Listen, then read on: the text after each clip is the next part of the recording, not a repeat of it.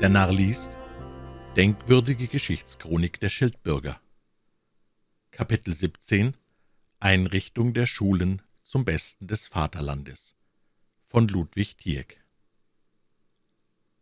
Es sahen die Schildbürger aber sehr wohl ein, dass nicht bloß kräftige Arme und geschliffene Schwerter der Sache den Ausschlag geben würden, sondern dass Kriegeswissenschaft und Staatskunst sowie die übrigen Wissenschaften in ihrer jetzigen Lage fast unentbehrlich wären.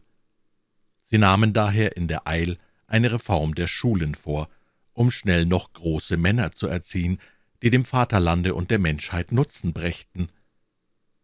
Die Jugend ward daher zusammengetrieben und musste Tag und Nacht in den Lehrstunden aushalten, da gab es keine einzige Wissenschaft, über die nicht etwas Weniges wäre gelehrt worden und von der die Schüler nicht etwas begriffen hätten. Um das ganze Werk desto schneller umzutreiben, hatte man den Staatskniff gebraucht, auch unwissende Leute zu Lehrern anzusetzen, damit diese doch eine Gelegenheit fänden, von denen Sachen etwas zu lernen, über die sie Unterricht erteilten. Man sah auch bald die Früchte dieser weisen Einrichtung. Es war kein zehnjähriger Knabe in Schilda, der nicht auswendig herzusagen wusste, was Menschheit und Aufklärung sei, warum die Monarchie zu verwerfen, die Republiken im Gegenteil anzuempfehlen seien, was Bürgerpflicht auf sich habe und dergleichen mehr. In Quinta urteilte man über die großen Heroen des Altertums ab, und in Quarta fing man schon an, die Existenz Gottes und der Tugend zu bezweifeln. Dann fing man schnell an, verliebt zu werden und Metaphysik zu treiben, und so wurde man zwar nach und nach, aber doch immer schnell genug, ein heller Kopf und großer Mann. Ja, als die Zeit am Ende so genau zugeschnitten war, dass man jede Minute sparen musste, so brachte ein Vater manchmal seinen Sohn in die Schule, und wenn er ihn nicht abmüßigen konnte, wartete er indessen draußen eine halbe Stunde, bis er ihn als vollendeten Gelehrten zurückempfing. Man hatte, um dieses durchzusetzen, eine sehr heilsame Enzyklopädie der Enzyklopädie erfunden, die kompendiöseste Bibliothek aus der kompendiösen Bibliothek.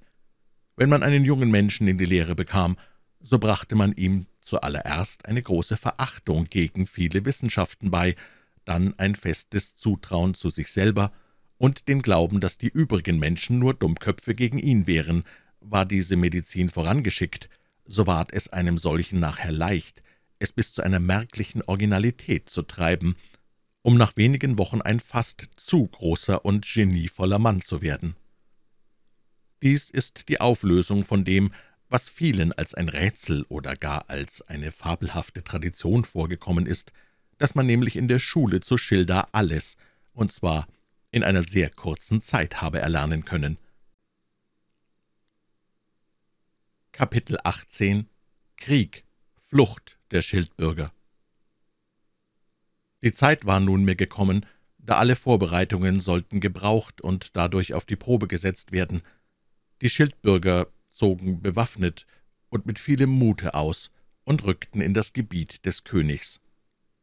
Dieser hatte sich eines so schleunigen Überfalls nicht versehen und schickte ihnen einige Mann von seiner Wache entgegen. An einem Grabe kam es zum Treffen. Die Schildbürger ließen ihre munteren Trompeten blasen und fühlten dadurch eine große Lust zum Kriege in sich. Als aber die Armeen handgemein wurden, verließ die Schildbürger der Mut. Sie flohen alle schnell zurück, ohne dass sie das Zeichen zum Zurückzuge abgewartet hätten. Kapitel 19 Beratschlagung und Entschluss Als sie nun wieder in ihrer Stadt waren und sahen, dass sie vom Feinde nicht verfolgt wurden, kamen sie alle zusammen, um zu beratschlagen, was nunmehr zu tun sei. »Meine Freunde«, fing ein bejahrter Einwohner an, »ich sehe jetzt ein, dass wir bei weitem größere Staatsmänner als Soldaten sind. Wenn wir daher unseren großen, schönen, zum Wohl der ganzen Menschheit abzweckenden Entschluss durchsetzen wollen, so müssen wir einen anderen Weg einschlagen. Hier sind wir nun nicht mehr sicher. Auch scheint es mir nach diesem ersten Versuche nicht ratsam, die Welt durch die Gewalt unserer Waffen zu bekehren, aber es ist gut, dass uns noch mehrere Wege offen bleiben.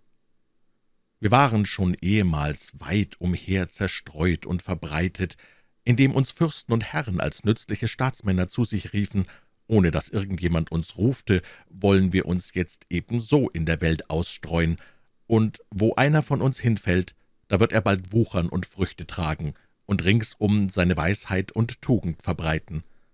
So können wir nützen, ohne jene gewaltsame Mittel zu ergreifen, und so kann sich füglich die Welt am Ende nach uns bequemen, so dass dann unsere Verfassung und unsere Lehren sowie unsere Geschichte die Verfassung, Lehre und Geschichte der Menschheit wird. Man fiel ihm bei. Die Schildbürger nahmen Abschied voneinander, und jeder suchte sich eine Stadt oder Gegend aus, in die er wanderte, um dort zu wirken. Schilda ist seitdem verfallen, und auch keine Ruinen sagen uns mehr, wo es gestanden hat.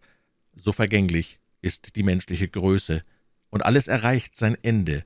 So geht es auch dir, geliebter Leser, wie mir mit dieser Geschichte, und darum wende ich mich schnell zum letzten oder zwanzigsten Kapitel. Kapitel 20 Beschluss und Nutzanwendung Seit jener Zeit ist die Nachkommenschaft der Schildbürger in der ganzen bewohnten Welt ausgebreitet. Man weiß kein Amt, in das sie sich nicht eingeschlichen hätten, keine Einrichtung, an der nicht einer von ihnen teilgenommen hätte. In Akademien, auf Universitäten, in den Kollegien, auf den Richterstühlen treiben sie ihr Wesen und suchen die übrige Welt nach sich zu bequemen. Sie verschmähen keinen Stand, sondern suchen sich in jedem häuslich niederzulassen.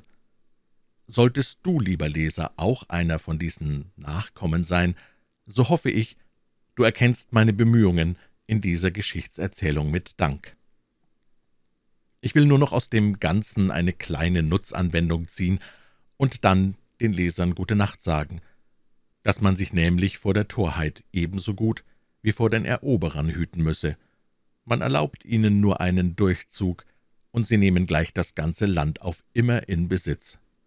Man kann fast nicht denken, ich will heute einmal ein Narr sein, ohne es auch morgen und übermorgen, ja die ganze Woche hindurch zu bleiben. Ahme daher, lieber Leser, die Vorsichtigkeit der Stadt Hamburg nach, die nach Sonnenuntergang ihre Tore verschlossen hält und kaum noch fremde Briefe annimmt, weil sie Verräter sein könnten. Hüte dich ebenso vor jedem fremden, törichten Gedanken, lass ihn in der Ferne stehen und nicht in deine Mauern kommen, wenn nicht an deinem Himmel die Sonne der gesunden Vernunft steht. Leide es nicht, wenn die Leidenschaften und Launen heimlich oder mit Gewalt die Tore aufmachen wollen. Ein Nachkomme der Schildbürger wird über meine Furcht vor der Narrheit lächeln, weil sie das Lieblichste ist, was er kennt, die Würze und das Salz des Lebens. Mag er es tun, ich habe wenigstens nach meiner Überzeugung gehandelt und jeglichen gewarnt.